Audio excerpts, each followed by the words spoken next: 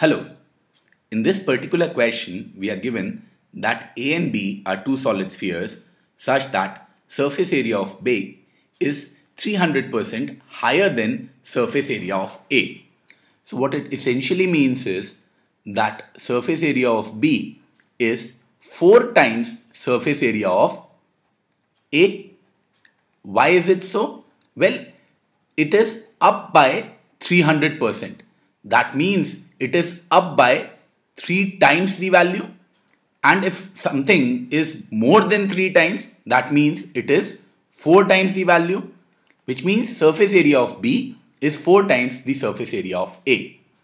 Let's say the radius for the bigger sphere is capital R and for the smaller sphere is small r. That means the surface area for the big sphere will be 4 pi capital R square surface area for the small sphere will be 4 pi small r square. Now, we also know that surface area of B is 4 times the surface area of A. So what relationship does this give us? 4 pi cancels with 4 pi. We are left with capital R square is small 4r square which gives me capital R is equal to 2r.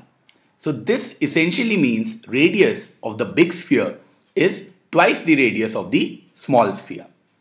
Now, with this relationship, we can find out the ratio of the volumes also.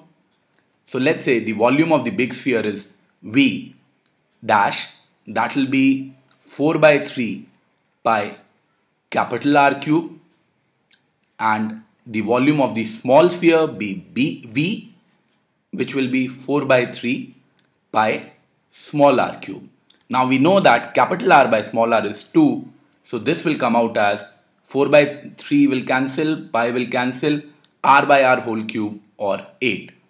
Which essentially means that the surface, uh, the volume of the small sphere will be 1 8th of the volume of the big sphere or it is 12.5% of the volume of the big sphere.